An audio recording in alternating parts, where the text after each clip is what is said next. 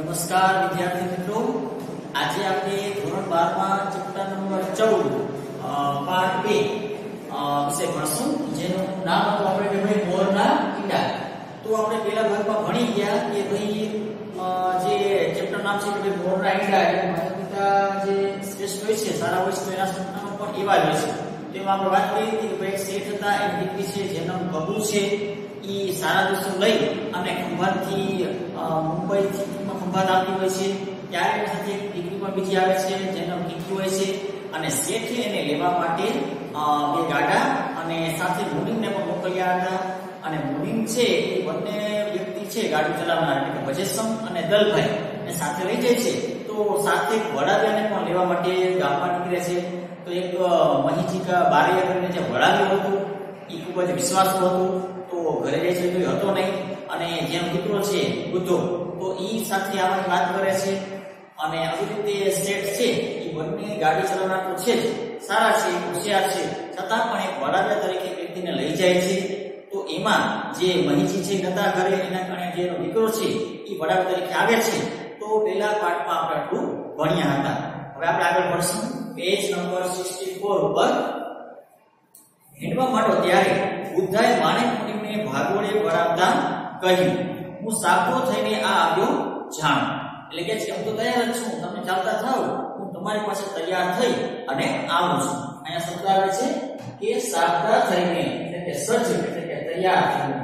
તેમ શીખેલું હતું કે એ ઉપર કમર અને સાથે રીતે કઈ જે હથિયાર છે લઈ જવાના છે, એટલે બધું સાથે લઈને તૈયાર થાય છે. માનવ હરક પાત્ર ન હતો. કોઈના કહ્યા વગર દીકરો આપને જોખમ ખેડવા તૈયાર થયો. એ ભાઈને મન પોતાના પેટનો વિજય હતો. મોરના ઈંડાને ચિતરવા ન પડે. આજે સુરવીરતાના છોડને પલટવા ન પડે. દીકરો જાણે કે પરદેશ માળમાં કપાવા જતો હોય, એટલા ઉમંગે માયા દીકરાને અકબંધ ગોળસી ભાંગીને દહીંમાં મુકાવ્યું અને વિદાય આપતા થયા એટલે કે એના દહીંમાં દહીં છે, એને મુખમાં આપે છે. એટલે આપણે કોઈ પણ સારા કામ જ્યારે જતા હોય છે, ત્યારે દહીં ચમચે ભરી ચાખી અને પછી આપણે ઘરની બહાર નીકળે છે. તો દીકરો પણ અત્યારે પેલી વાર જ્યારે વડાવા માટે જાય છે તો માય ખુશ થઈ અને એને ધન આપી અને રવાના કર્યો કે જા બેટા, હાથથી ખતરી તારી ખમા કર અને દીકરાએ ઘરની બહાર પગ મૂક્યો એટલે બાઈએ ઉમેર્યું, જોજે બેટા, તારા બાપનું નામ ના ભોગવવા એટલે બેટા એટલી સરસ રીતે કાર્ય કરજે કે તારા ના બાપનું નામ ન ભોગવાય છે. અરે, એ વાતમાં શું માલ છે? રામ રામ કરને એમાં ખાતરીના મૂંગા પડઘા પાડતા દીકરાના પગલાને ભાઈ નેકી જોવે છે.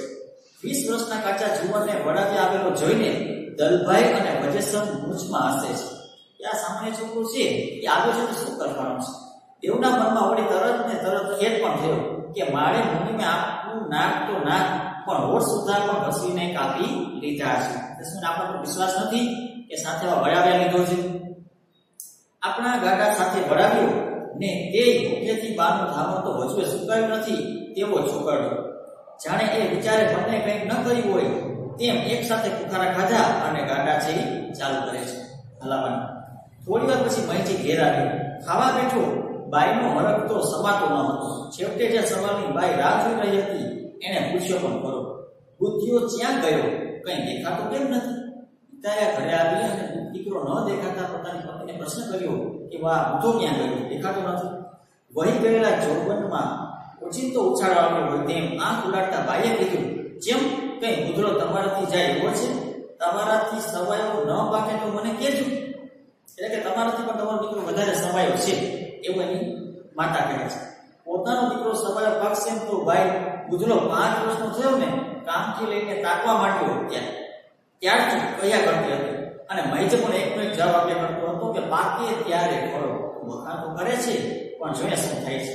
એટલે એ દાડો આ જજરા હજુ થતા વાળા ભાઈએ એ વાતને સંભાળી એટલે મહીજીએ આ વાતમાં કંઈ નવાઈ ન લાગી, પરંતુ બાઈની આંખે જે કામણ કર્યું તે એને સત્ય જ કર્યા વગર રહી ન શક્યું. બાઈનું કાંડું ચાલવા એણે હાથ લંબાવ્યો, ત્યાં તો બાઈ ઘૂસી ગઈ. અને મહીજીના સવાલની રાહ સહી ન જતી હોય એમ એ ઉઠી તમે જાણતા હશો કે મારા જેવો કોઈ વડાવ્યો નહીં, પણ મારો બુદ્ધો તમારા પેગડામાં પગ ઘલે કે નહીં? તમે નહોતા એટલે સાપતો ખુખારો ખાઈ અને તૈયાર થઈ ગયો. સાપતો એટલે કે તમે નહોતા? તો એ તમારું જે કામ છે પોતે લેવા માટે તૈયાર થઈ ગયો. એ સમજાવે છે કે સાવધાન એટલે કે સજ્જ અને તૈયાર થયો. કે તમે નતા અને વડા માટે સજાવ્યા હતા, તો એની સાથે પોતે ગયો છે. મહીજીએ વાત સાંભળતા ગંભીરતા પકડી. જાણે કે ગણતરી કરતો હોય તેમ ખાઈ લીધા પછી ભૂકો પીતા પીતા ધમાની પેટમાં ઘૂસડા વળવા લાગી. વિચાર પાકો થતા તે રમણા જ એણે જળમની તમાકુ બાળીને ખાક કરી દીધી. ભૂકો અને ખૂણામાં ટીપીને મૂકી દીધું. રોજના સાથી હથિયાર એને ધારણ કર્યા. ન સમજ પડવાથી બાઈક બોલી હતી તમે અત્યારે ક્યાં જાઓ છો, દીકરો ગયો ક્યાં તેના પિતાને જવાબ છે ભાઈ, મારો દીકરો ગયો છે ક્યાં તેની માતા કહે છે કે, જેમ તમે જાઓ છો. મારાથી ઓછું તારી જેમ પહેરાવડા જોઈ લેવાય. વાછડો ગમે તેટલું કૂદે પણ એ તો કિલ્લાનો જો ન હોય ને, તો ખાડામાં જ પડી જાય છે. ગયો છે તો ખરો તરવાર બાંધીને, પણ એવો દાડો હોય ને, મોં બકાસી જાય તો નામ આપવું જાય.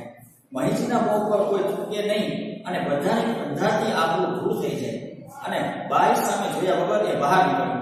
જતા પહેલા બોલ્યો કે, વળી જાઉં તો ખરો ને કે એમાંય કેટલું પાણી છે. બાઈ ફાટી આંખે તાકી રહી અને મહિજી ચાલી જાય છે. એટલે આ પેરેગ્રાફમાં એના પિતા એવું કહેવા માંગે છે કે, દીકરો તો ગયો છે પણ હજી નાનો છે, કાચી પણ છે? નઈને ન થવાનું થઈ જાય તો મારી આબરૂ ધૂળમાં મળી જાય. માટે મને જોવા દે કેવો સ્વર્ગે છે. અને એની માતા એના સામે જોયા રાખે છે. સુધી પાછળનો ચંદ્ર રહ્યો હતો. ઉગતાની સાથે આથમણે ગયાઈ હતો એટલે દિવસ ધીમે ધીમે આંસુ રહ્યો હતો ઝાંખું ઝાંખું પ્રકાશ રહ્યો હતો. ડાળમાં ગાડા ધીમે ધીમે ચાલી જતા હતા. વડાવે તરીકે આવેલો વૃદ્ધો ગાડાથી તો ખેતરમાં ચાલતો છુપાઈ ગયો કપુ મુસાફરીથી અને ભારે પેટે હોવાથી થાકીને આડે પડતી પડી એના પગ આગળ ટીકી ઝોકા ખાતી હતી. અને આંચકો આવતા સિત્તેજ થતી પગ લાંબા કરીને પાંજરાને પકડીને બેઠી હતી. માણેક દલભાઈની જોડે આગળના ભાગમાં બેઠા હતા. વાતો કરી કરીને થાકી ગયા હોય એમ. સૌ છે એ શાંત થઈ ગયા. ગાડા ચાલી રહ્યા છે અને દીકરી જે હારે પેટે છે, એના કારણે થોડી આવે છે એટલે એ ગાડામાં આડી પડે છે. ત્યાર પછી પેજ નંબર સિક્સટી ફાઈવ ઉપર ત્યાં તો કોઈની રાડ આવે. એ જે હોય તે ગાડા ઊભા રાખજે. હવે એ ઓચિંતાની રાડ સંભળાય છે. જાણે બંદૂકની ગોળી સંત કરતી રૂપિયાને ભેદે તેમ રાડે સૌના કામ છે દીવી નાખી. એટલે બધાની વાત સંભળાય છે. એ એક જણ ક્ષણ પ્રભુ બેઠી થઈ ગઈ. કીકી સાવધ થઈ ગઈ.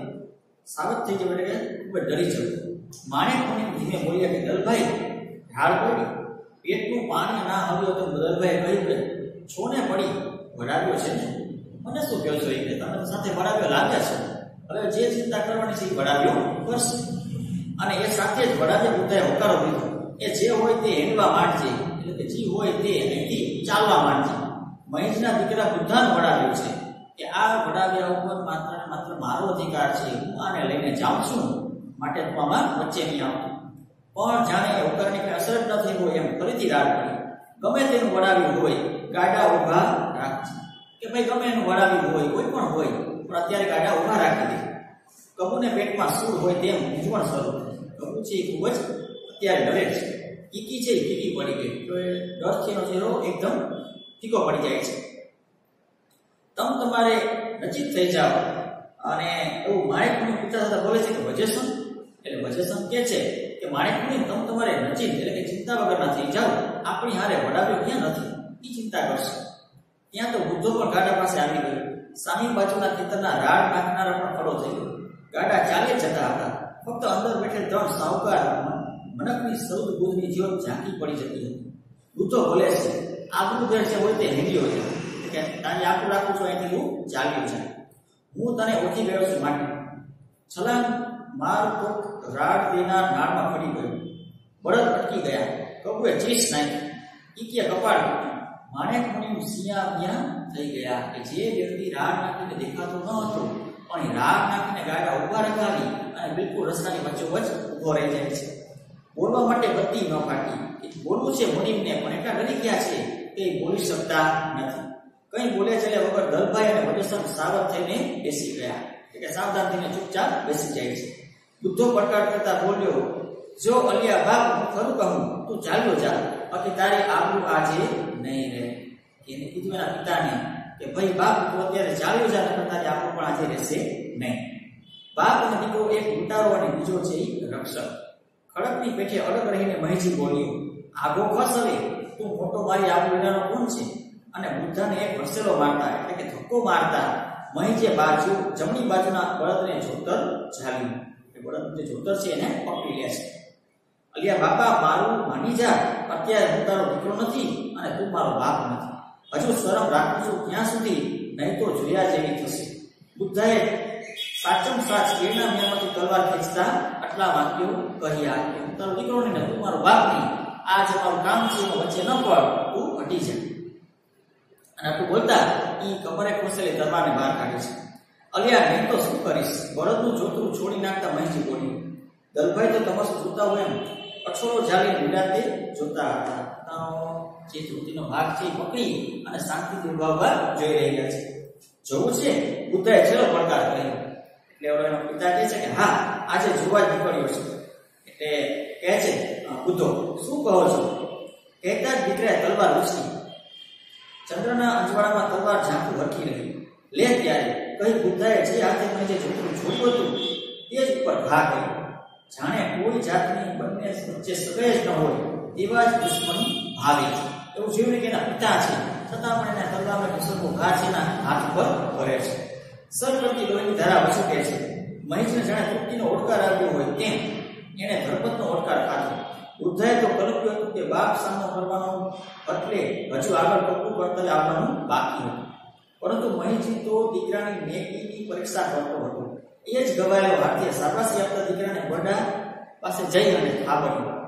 સાબાસ દીકરા, મને હવે ખાતરી થઈ ગઈ કે તું મારું નામ નહીં બોલે. જા ફતે એટલે કે જા દીકરા, મને વિશ્વાસ છે કે તું જે કામ માટે ગયો છે, એમાં કંઈ પણ પચાસ નહીં રાખ. અને જાજુ તારું કામને પૂરું કરે, એટલે પતે અત્યાર સુધી તમાશો રહેલા દલભાઈ છે કે બોલ્યા અને મોરના હિંદામાંથી કંઈ ચિત્રમણ કરવાનું હશે? કે જેવો બાપ, આવો વીર અને પરાક્રમી હતો, તો એનો દીકરો પણ એવો જ છે. એટલે કહી શકાય છે કે ભાઈ જે મોરના ઈંડા છે એ કવિ દ્વારા યોગ્ય રીતે રાખવામાં આવેલું છે. મહીજી, હે હે, કોણ દલભાઈ? મહીજી બોલે છે. ગાડા ઉપરથી ખેતીને નીચે પડતા દલભાઈએ કહ્યું, એ બધી વાત કર્યા વગર ભાવ ઉપર ચેવીને પાટો બાંધવું ચેવીને એટલે કે કસીને શબ્દ છે કે ચેવીને એટલે જ્યાં આપણે તલવાનો ઘા લાગ્યો તો હાથ ઉપર, ત્યાં તમે ચેવીને પાટો બાંધો ચેવીને તમે તો કસીને કે જેનાથી કોઈ બારે ન આવે.